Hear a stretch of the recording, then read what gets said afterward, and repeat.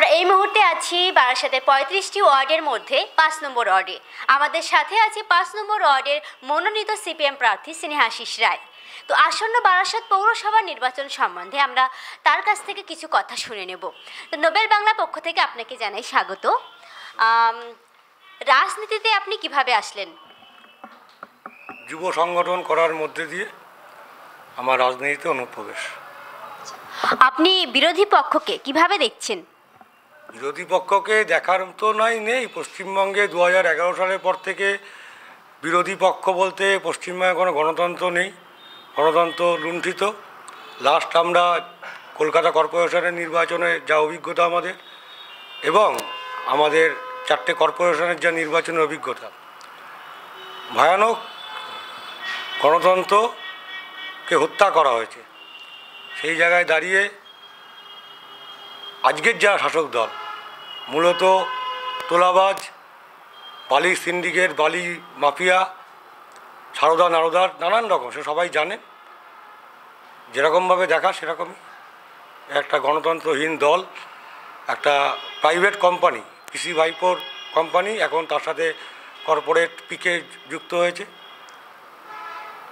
যা অবস্থা পশ্চিমবঙ্গে সেই।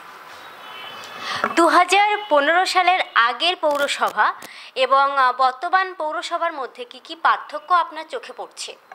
দু হাজার পনেরো সালের আগের পৌরসভা দু হাজার দশ সাল থেকেও এখানে তৃণমূলের পৌরসভা। সেখানেও সর্বত্র একটা মানে দুর্নীতিগ্রস্ত একটা পৌরসভা চলেছে। উনিশশো পঁচানব্বই সাল থেকে আমাদের এটা পঞ্চায়েত অঞ্চল ছিল, উনিশশো পঁচানব্বই সাল থেকে পৌরসভার অধীনে হয়েছে আমরা।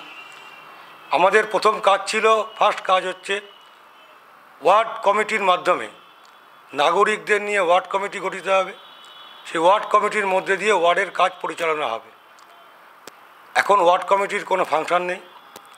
এখন হচ্ছে কাউন্সিলর এবং তার কিছু সাঙ্গপাঙ্গ, তাবেদার, তাবেদারি যারা করে, প্রমোটার, সিন্ডিকেট, এদের মধ্যে দিয়ে ওয়ার্ডের কাজ, কাজকর্মগুলো পরিচালনা হয়। আর পৌরসভায় বলুন, আমাদের সময় বার্ধক্য ভাতা, বিধবা ভাতা, এখন সেই বার্ধক্য ভাতা, বিধবা ভাতা বিরোধী কোনো রাজনৈতিক দলের কর্মী হলেই তাদের নাম বাতিল করে দেওয়া হচ্ছে।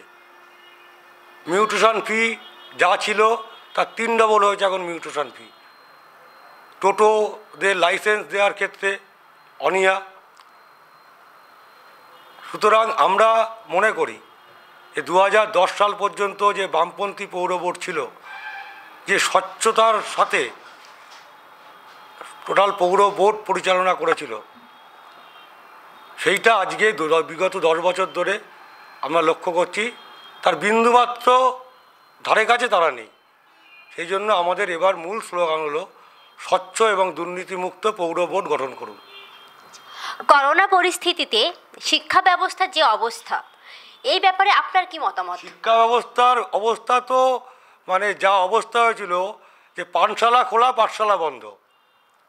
দুয়ারে মদ চলে আসছে। কিন্তু যে ছোট ছোট শিশুরা, যারা স্কুলে গিয়ে, শুধু স্কুলে গিয়ে তো পড়াশুনোর বিষয় নেই, নানান, নানাবিধ কাজ, তাদের বন্ধু বান্ধবদের সাথে খেলা করা, সেইটা সম্পূর্ণ বিপর্যস্ত হয়েছে। এই এসএফআই আন্দোলন করেছে বলে আজকে বাধ্য হয়েছেন স্কুলগুলো গতকাল থেকে খোলার। একটা পোর্শন ছাত্রছাত্রী হারিয়ে গেছে যারা যারা শিশু শ্রমিকে পরিণত হয়েছে। মেয়েদের বিয়ে হয়ে গেছে, তারা আর শিক্ষার আঙিনায় আসতে পারছে না। এই দুবছর ধরে পশ্চিমবঙ্গে যে শিক্ষা ব্যবস্থার, যে বেহাল অবস্থা করে দিলেন এই পশ্চিমবঙ্গের সরকার সব কিছু খোলা, শুধু পাঠশালা বন্ধ। ওদের ওদের মূল মানে ইচ্ছাটাই হচ্ছে যে পড়াশোনা করলে চাকরি চাইবে, চাকরির বাজার বন্ধ, যেটুকু চাই, চাকরি হচ্ছে দুর্নীতিতে ভর্তি, নানান রকম মামলা চলছে। সেই জায়গায় দাঁড়িয়ে মানুষ পড়ালেখা করলে, শিক্ষিত হলে চাকরির দাবি করবে, কর্মী, কর- কর্মী সংকোচন করছে।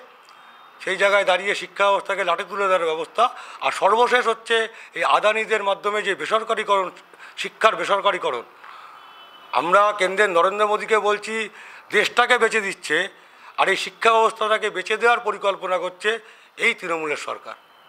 সুতরাং করোনাকালীন পরিস্থিতিতে শিক্ষা ব্যবস্থার যা বেহাল দেশ, দশা দেখলাম আমরা, আগামী বহু বছর এর খেসারত আমাদের দিতে হবে। মাধ্যমিক, উচ্চ মাধ্যমিক পরীক্ষা হচ্ছে না, গড়ে নম্বর দিয়ে দিচ্ছে। আমাদের বাহাত্তর সাতাত্তরের মনে আছে, বাহাত্তর পঁচাত্তরের। তখন আমরা খুবই ছোট সেই সময় যারা মাধ্যমিক পাশ করেছিল কোনো বেসরকারি কর- চাকরির ইন্টারভিউতে দিলে বাহাত্তর সাল তিয়াত্তর সাল রেখে দিত পায় পাশে। সেই অবস্থাটা আবার ফিরে এসছে। গাদা গাদা নম্বর দিয়ে পাশ করলেই সে সে শিক্ষিত হলো না। সেই ব্যবস্থাটা আজকে মানে ভুল উন্নীত হয়ে গেল শিক্ষা ব্যবস্থা। আপনার ওয়ার্ডে এমন কি কি সমস্যা আছে যেটা কোনো কারণবশত এখনও হয়ে ওঠেনি? নানাবিধ সমস্যা আছে। হাউস ফর অল বাড়ি, প্রকৃত গরিবরা পাচ্ছে না। যারা তৃণমূলের কর্মী, তৃণমূলের কর্মীর আত্মীয়, তারা হাউস ফর অলের বাড়ি পাচ্ছে। কর্মীরা পাচ্ছে না। যত্রতত্র প্রমোটিং পরিবেশকে ধ্বংস করে দিয়ে প্রমোটি প্রমোটার রাজ চলছে। এই টোটাল আমাদের ওয়ার্ড শুধু না টোটাল নবাবপুর টোটাল বারাসাত জুড়েই। পুকুর ভরাট চলছে। বেআইনিভাবে পুকুর ভরাট চলছে। বাড়ির ট্যাক্স তিন চার ডবল বেড়ে গেছে মিউটেশন ফি বেড়ে গেছে, এই নানাবিধ সমস্যা আছে। অল্প জল হলেই, বৃষ্টি হলেই জল জমে যাচ্ছে ড্রেনেজ সিস্টেম পুরো মানে পুরো ফেল করেছে, এই নানাবিধ সমস্যা আছে। আচ্ছা আপনার এলাকায় সকলেই কি মানে সকলেই কি ভ্যাকসিন পেয়েছে? আর যদি না পেয়ে থাকে, তাহলে আপনি ক্ষমতায় এলে কীভাবে সেই সমস্যা কাটাবেন? শুনুন শুনুন, এখন মধ্যবিত্ত লোক সরকারের আশায় নেই, একটা ভীতির মধ্যে আছে এই করোনা পরিস্থিতিতে। সরকারের মানে কি বলব, সরকারের বদান্যতায় যারা আছে, তারা ভ্যাকসিন পেয়েছে। ভ্যাকসিনের কুপন তাদের বাড়িতে পৌঁছে দিয়ে এসছে। কিন্তু প্রকৃত গরিব যারা ভ্যাকসিনের জন্য দীর্ঘদিন ভোর চারটে থেকে রাত দুটো থেকে লাইন দিতে হয়েছে। কিন্তু এটার সত্ত্বেও মানুষ অধিকাংশ মানুষই আমাদের এখানকার মানে আমাদের এই পাঁচ নম্বর ওয়ার্ডের প্রায় সিক্সটি পার্সেন্ট লোক মধ্যবিত্ত, নিম্ন মধ্যবিত্ত, তারা বেসরকারি জায়গা থেকেও ভ্যাকসিন নিয়ে, নিয়েছে। আমাদের দাবি হচ্ছে, স্বাস্থ্য হচ্ছে, রাষ্ট্রের অধীন থাকবে, স্বাস্থ্য ব্যবস্থাটা বিনামূল্যে হবে এবং সকলে বিনামূল্যে ভ্যাকসিন পাবে। কেন্দ্রের মোদী সরকার ঘোষণা করছে সকলে বিনামূল্যে ভ্যাকসিন পাবে কিন্তু পঁচিশ শতাংশ ভ্যাকসিন দিচ্ছে বেসরকারিকরণকে। তার মানে কি?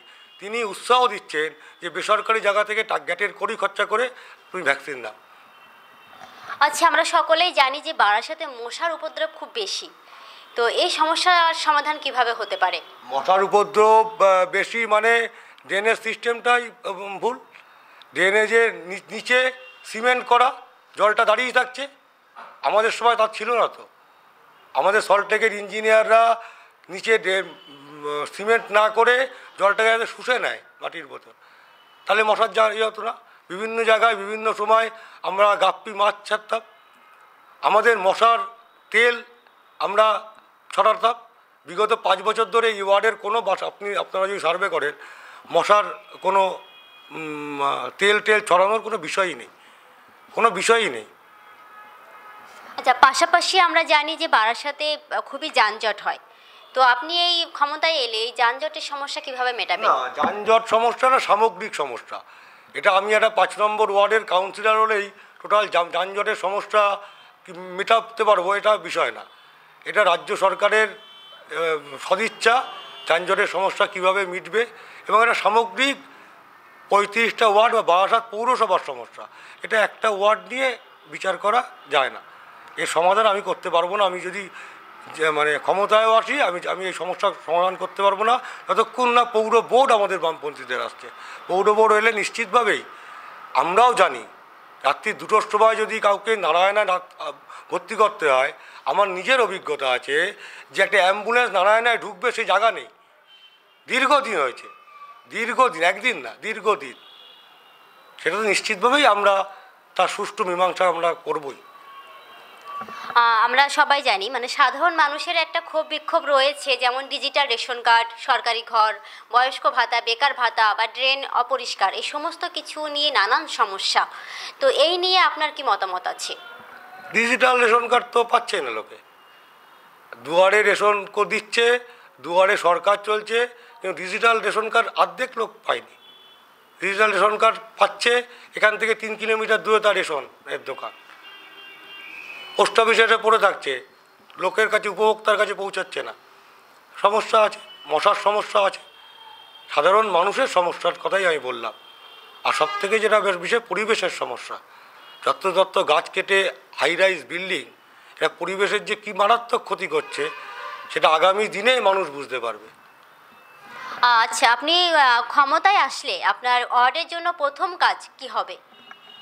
আমার প্রথম কাজ হচ্ছে গরিব মানুষের জন্য কাজ করা।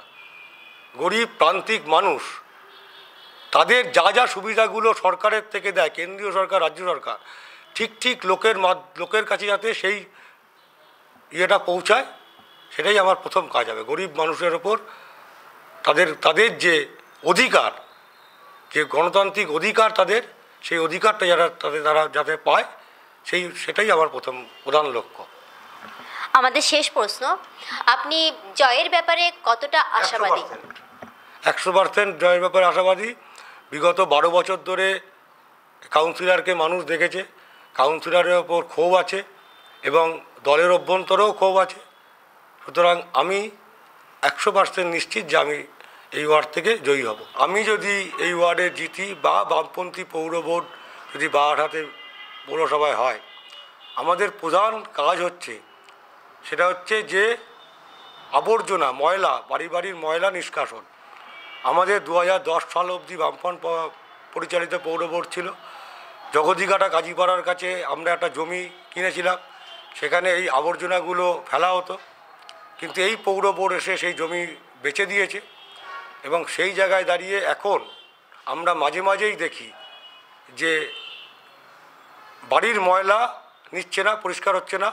রাস্তার মোড়ে মোড়ে এখনও যদি আপনি যান, এই একটু নবপল্লীর ভেতরে, মোড়ে মোড়ে বিভিন্ন জায়গায় ময়লা স্তূপ পড়ে আছে।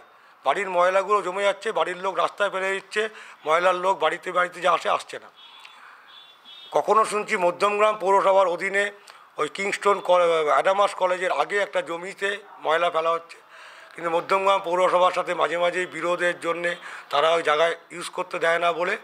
এ একটা সমস্যা, এটা শুধু মধ্যবিত্ত, আপামর নবপল্লীবাসীর বারাসাতবাসীর সমস্যা।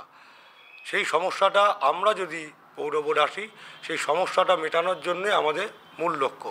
কারণ আবর্জনাটা রাস্তায় পড়ে যাচ্ছে সেখান থেকে নানান জীবাণু হয়ে নানান রকম রোগের প্রাদুর্ভাব হতে পারে। আমরা দেখে নিলাম, পাঁচ নম্বর ওয়ার্ডের মনোনীত সিপিএম প্রার্থী স্নেহাশিস রায়ের সাক্ষাৎকার।